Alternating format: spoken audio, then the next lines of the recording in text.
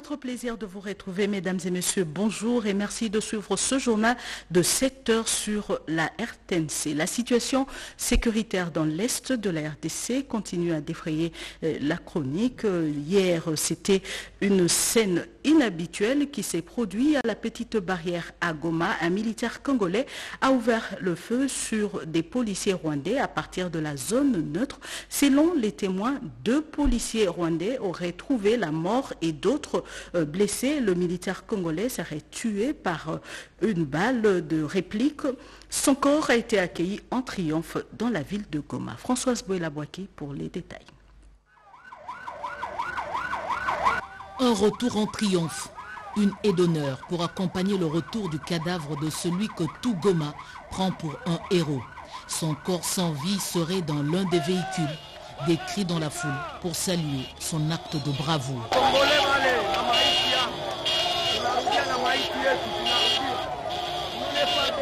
Tout a commencé ce vendredi 17 juin à la frontière RDC-Rwanda, lorsque selon les témoignages, un militaire congolais a ouvert le feu à partir de la zone neutre en direction du Rwanda. Il aurait tué deux policiers rwandais et fait des blessés.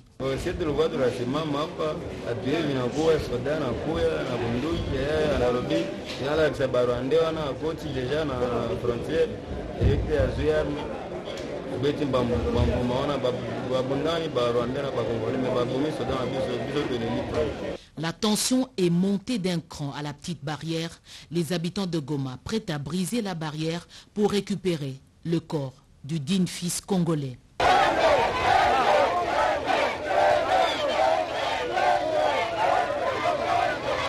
Des négociations, le corps du militaire FARDC abattu a été remis à la RDC à travers le mécanisme approprié.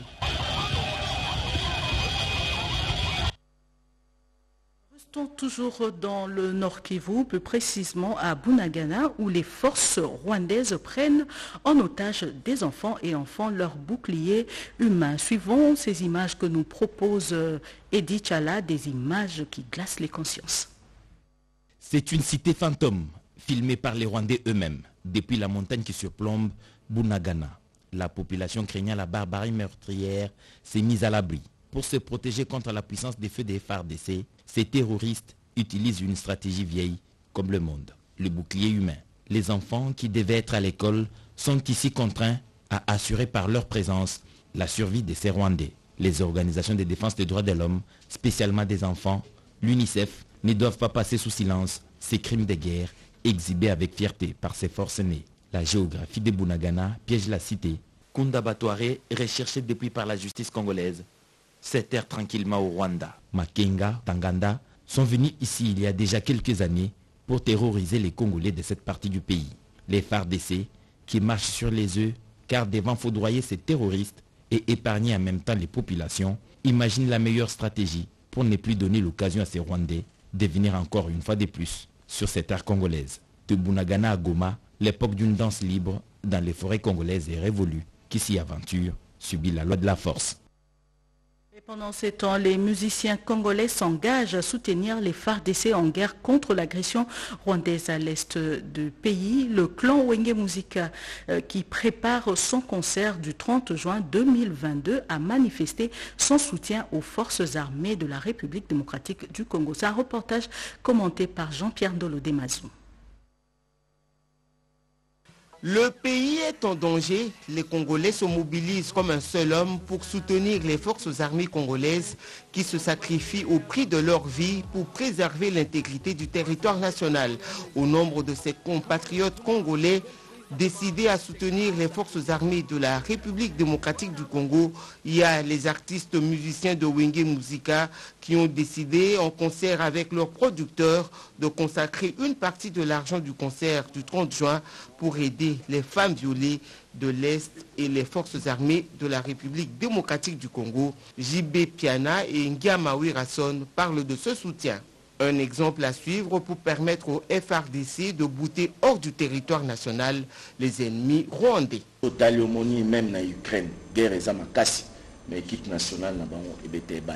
C'est un problème national qui concerne tout un peuple. Le producteur a décidé de secourir nos forces armées Une partie de l'argent du concert leur sera acheminée. Tout Congolais doit en être conscient. Lelo toyebi ke mboka na so toza na problème moto akoboya yango aza te toza atake bato bazokufa Aujourd'hui, nous sommes attaqués. Les hommes et les femmes meurent chaque jour qui passe. Nous devons nous lever et soutenir les forces armées de la République démocratique du Congo. La paix doit régner dans le pays.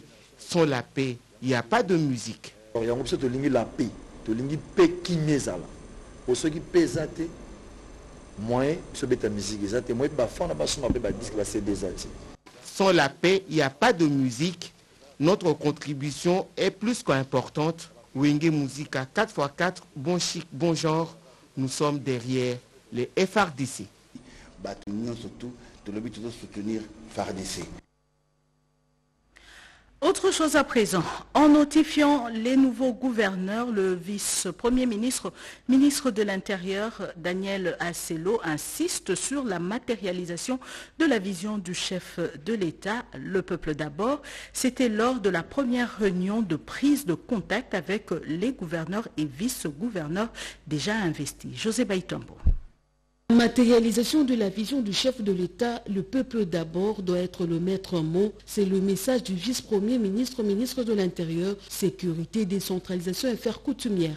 Au nouveau gouverneur investi par le président de la République, Félix Antoine Tshisekedi Chilombo, le 9 juin dernier. C'est après leur élection le 6 mai 2022. Sur les sept gouverneurs investis, cinq se trouvant à Kinshasa, notamment celui du Congo central, Kasaï central, Kasaï oriental, Sonkuru et Tanganyika, accompagnés de leurs adjoints, ont tous été notifiés par Daniel Asselo Kitoakoy et sont ainsi autorisés de faire leur remise reprise. C'est l'acte que le ministre de l'Intérieur vient à peine déposer. C'est-à-dire nous a notifié pour demander à tout un chacun, c'est-à-dire à chaque gouverneur de retourner travailler.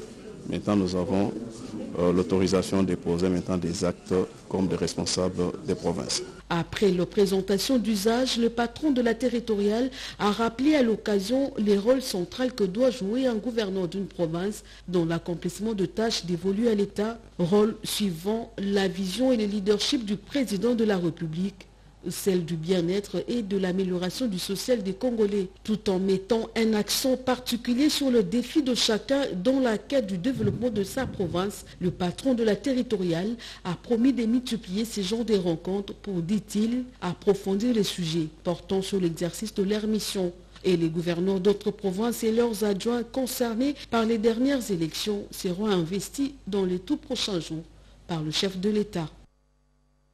Il s'est ouvert depuis le 15 juin euh, à, Paris, en France, le grand rendez-vous de l'innovation numérique. Le ministre du numérique euh, Désiré Cachemire Kolongele s'est rendu à ces assises où il représente valablement la RDC. Patience Mboyo Djoké.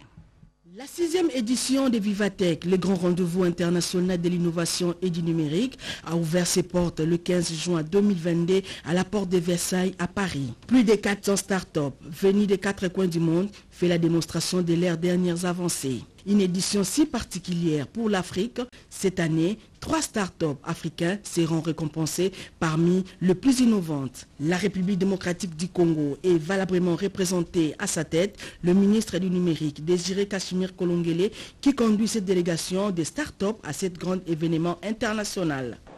Créer des données est une chose, mais être maître de ces données-là en est une autre.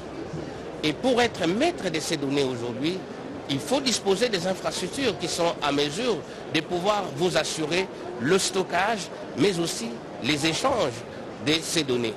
Je pense que nos pays africains, en particulier la RDC, a pris la mesure de s'assurer de cette souveraineté numérique en mettant en place ses propres infrastructures qui sont logées sur son sol, sur son territoire et qui sont contrôlées, n'est-ce pas, par ces ingénieurs. Il faut noter qu'avec les défis du réchauffement climatique, l'Afrique fait l'objet de plus d'attention. Une véritable opportunité de croissance pour le continent. Et puis cette bonne nouvelle, la Société nationale de l'électricité vient de mettre sur pied cette cabine de décharge pour une durée de six mois. Question de trouver une solution pour l'amélioration de distribution de l'électricité dans la ville de Kinshasa. Marie Talong. L'accroissement démographique de Kinshasa, la vétusté du réseau de distribution SNEL, le manque de l'économie d'énergie posent un sérieux problème de dégradation de la qualité de la desserte en électricité caractérisée par des coupures intempestives, délestage, surcharge électrique et autres. Face à cette situation, la SNEL SA, avec le soutien et l'accompagnement de ABC Sodimec, a mis sur pied un programme de travaux d'implantation de cette cabine de décharge pour une durée de six mois. Ce projet a l'avantage d'implanter et de mettre en service neuf nouvelles cabines et de décharger 20 cabines existantes. La cérémonie de ce jour s'inscrit donc dans le cadre du lancement effectif de ces travaux. Excellence, Monsieur le ministre des Ressources hydrauliques et électricité, votre présence ici témoigne de votre volonté et votre détermination à soutenir la noble vision du président de la République de voir la population de la ville de Kinshasa accéder aux meilleures conditions de vie. C'est le ministre des Ressources hydrauliques et électricité, Olivier Mwenze qui a procédé au lancement effectif de ces travaux à travers la cérémonie de la pose de la cabine Boboliko dans la commune de Kitambo. Question de stabiliser le réseau de distribution de Kinshasa. Nous lançons les travaux de mise en service euh, des cabines de décharge. Il y en aura une pour la commune de Kitambo, une pour euh, la commune de Matete, de Kassavubu, et il y en aura quatre pour la commune de Ngaliema. Ces cabines de décharge sont censées décharger en fait des cabines existantes. L'autorité municipale représentant le bourgmestre de la commune de Kitambo a appelé la population à faire bon usage de ce bien public. Ce programme d'implantation des cabines de décharge concerne 5000 ménages de la ville-province Kinshasa. Et sachez qu'il se tiendra bientôt à Kinshasa la 40e session ordinaire du Conseil d'administration des postes de l'Union panafricaine. Euh, l'annonce a été faite hier par le directeur général de la Société congolaise de postes et téléphones. Euh, c'était au cours d'une conférence de presse, nous dit Jean-Pierre Nolodemason. La République démocratique du Congo, capitale de la poste panafricaine, l'événement sera vécu dans la capitale congolaise du 4 au 14 juillet 2022.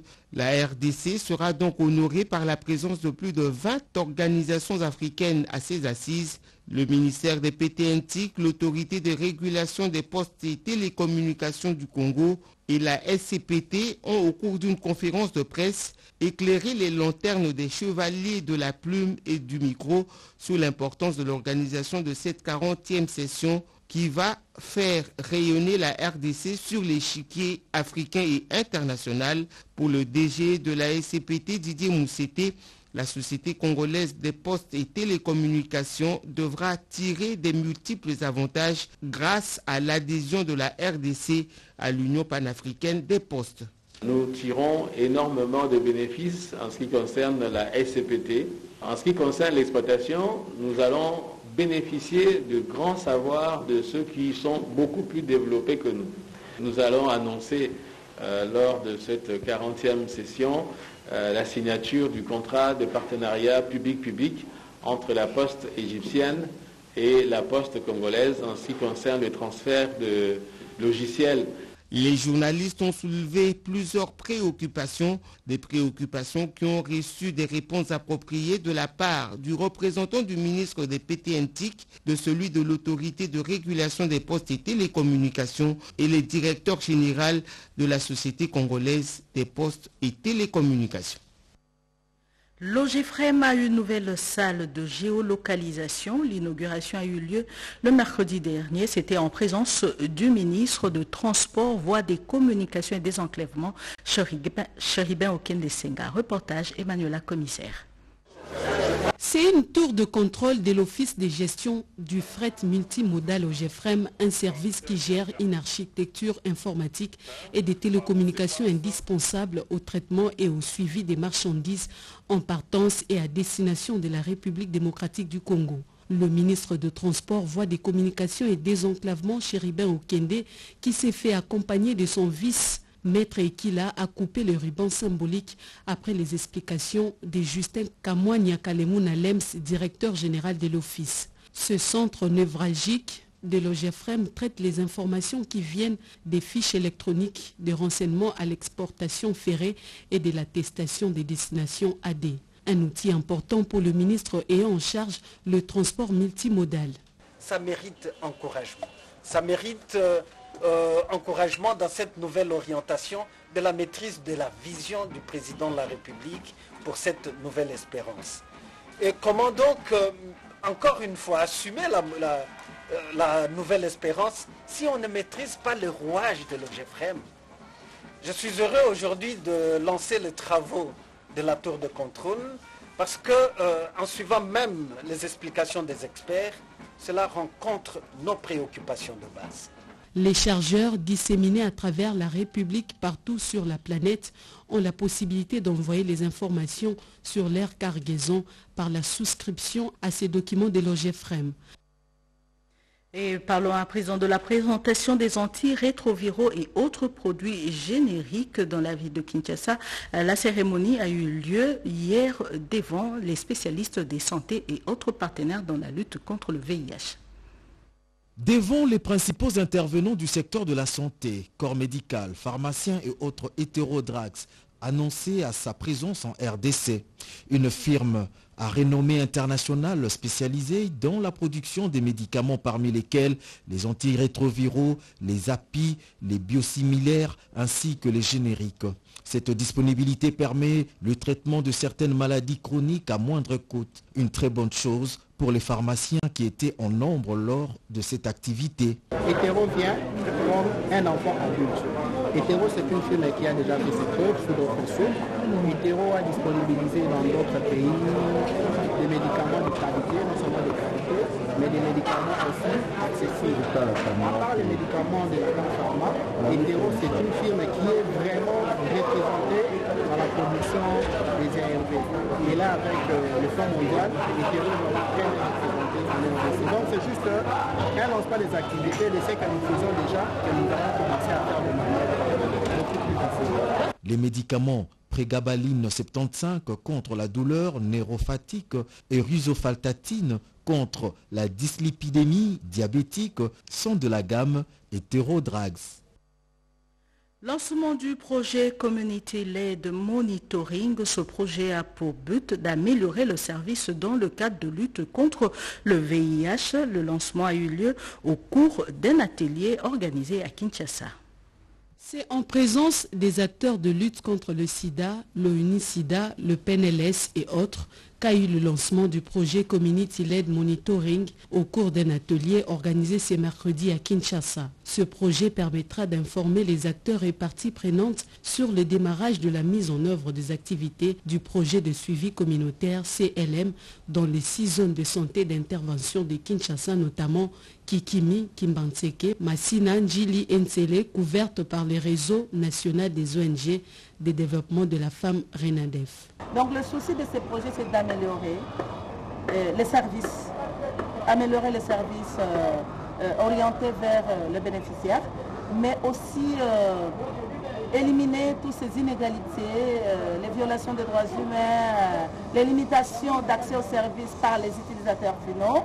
Donc c'est tout ça que le projet va s'atteler parce que dans la communauté, il y en a encore de personnes vivant avec le qui n'arrivent pas à fréquenter les services disponibles tout simplement parce que la discrimination persiste encore, les régés et puis euh, toutes sortes d'inégalités en fait. Les données du CLM seront recueillies à l'aide des outils standards et synthétiques au moyen des diverses méthodes qui révéleront le point de vue des communautés sur le problème et les solutions liées à la prestation des services de santé et lutte contre le VIH. Quelques femmes leaders sont en formation pour renforcer leurs capacités euh, sur la gouvernance et le leadership féminin. l'occasion leur est donnée par le Fonds pour euh, la femme congolaise, la femme congolaise d'accroître leurs compétences techniques. Christine Lenzo. Ces trois jours d'atelier organisés par le Fonds pour la femme congolaise renforcent les capacités des femmes leaders politiques et des associations féminines des différents coins de la RDC, la gouvernance et le leadership féminin. Tel est l'objectif de cette formation, comme l'a annoncé la directrice du FFC, Julienne Lusenge, au lancement de ces travaux. Ce qu'on vous donne ici comme formation, comme renforcement des capacités, c'est pour l'investissement dans les femmes congolaises. Prenant la parole, l'expert en genre Faïda Mwangiloa a évoqué l'engagement politique et le leadership féminin, ce qui lui a permis de fortifier ses femmes leaders à ne jamais baisser les bras et à utiliser surtout les compétences innées. On a euh, invité les femmes venues des différentes provinces, notamment l'Équateur, Bandaka, euh, le Nord-Ubangi, Guadolite, mais aussi des Kasaï centrales. L'objectif, c'est échanger les expériences entre femmes, une puce à l'oreille aussi, pour que les femmes puissent rentrer dans leur milieu, parler avec d'autres femmes. Bien que nous avons des connaissances, nous sommes engagés dans la politique, mais on nous a encore outillés pour continuer à nous engager dans la politique pour l'intérêt de la nation.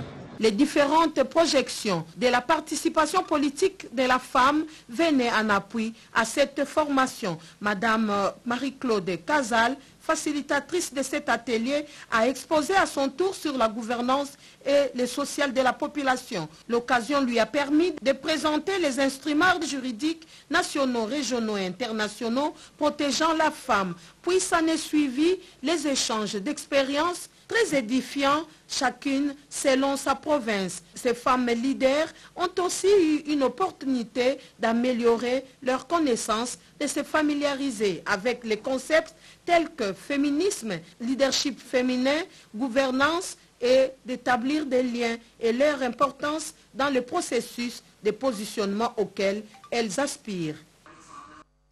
Un lot important des ouvrages scientifiques dont de l'ambassade des États-Unis d'Amérique à travers le Centre culturel américain remis à l'Université de Kinshasa. C'est le secrétaire général à la recherche de l'UNIKIN, le professeur Antoine Chimpi, qui a réceptionné ces ouvrages et c'était en présence du conseiller du ministre de l'Enseignement supérieur et universitaire, Rodépanda cité de Kinshasa continue à entretenir de bonnes relations avec ses partenaires.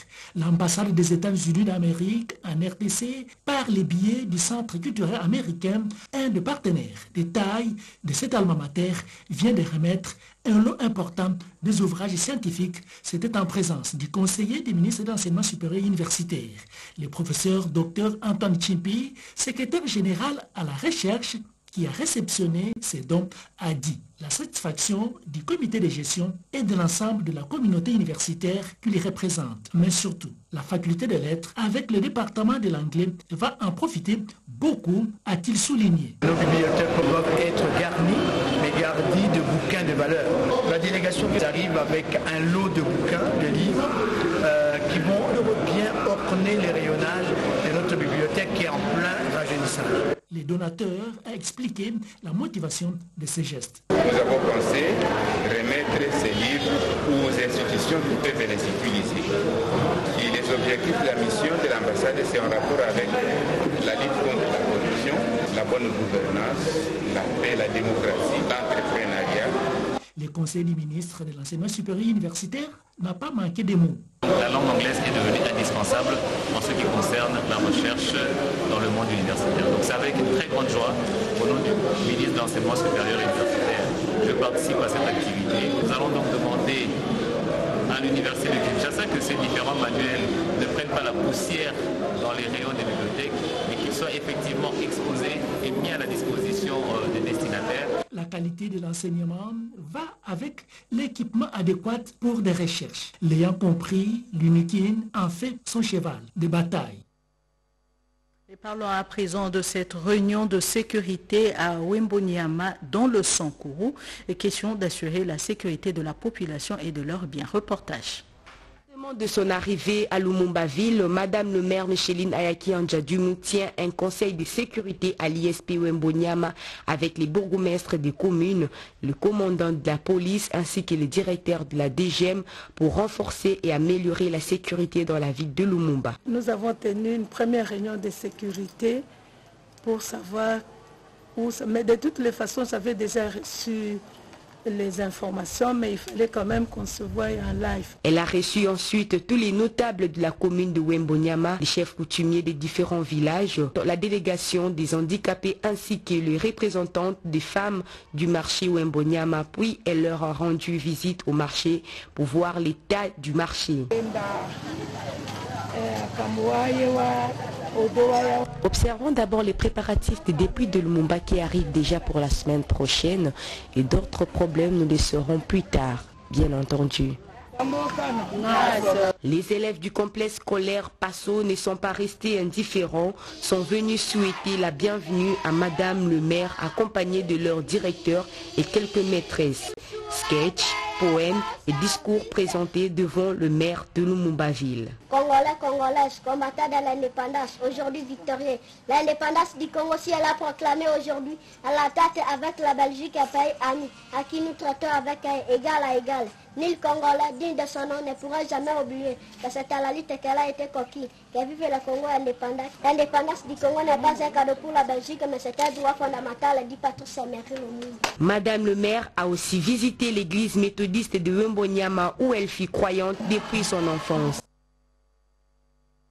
La paix, c'est la dénomination d'un tournoi de football organisé dans quelques territoires de la province de l'Itourie. En organisant ce tournoi, les autorités provinciales tiennent à pérenniser la paix dans la province de l'Itourie la recherche de la cohabitation pacifique entre différentes communautés en territoire de Djougou. Il se tient depuis ce mardi 14 juin 2022 à Bambou, dans le secteur de Walé Djati, un tournoi de football dénommé La Paix. Affaire de tous, au total, 16 équipes venues de différents coins de Djougou prennent part à cette compétition. Cette initiative des amis de Serge Loné Mamboukana vient en appui aux efforts de paix fournis par l'administration militaire, a affirmé ces notables de l'Itourie montrer à cette jeunesse qu'il y a la paix qui est le socle de développement de tout. Sans la paix, on ne peut rien faire.